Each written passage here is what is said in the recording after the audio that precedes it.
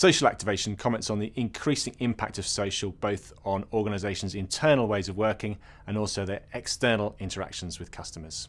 Both of these are driven by an increasing expectation from consumers and employees to have a more personalised, contextually relevant, and engaging interaction with brands and businesses today.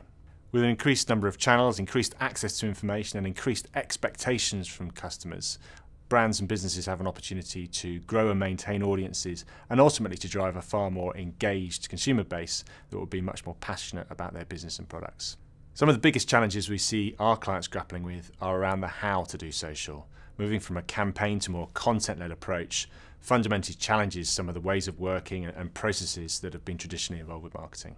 We're seeing the emergence of a social operating model which relies far more on an ecosystem of partners that can act in a far more agile and flexible way to deliver everything from brand strategy, content production, content distribution uh, through media and technology. We're also seeing the rise of far more senior digital roles, such as the Chief Digital Officer.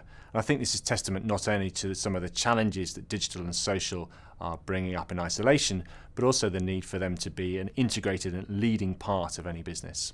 Technology aside, one thing is clear organisations need to become more agile, connected, and real time in all aspects of their communications.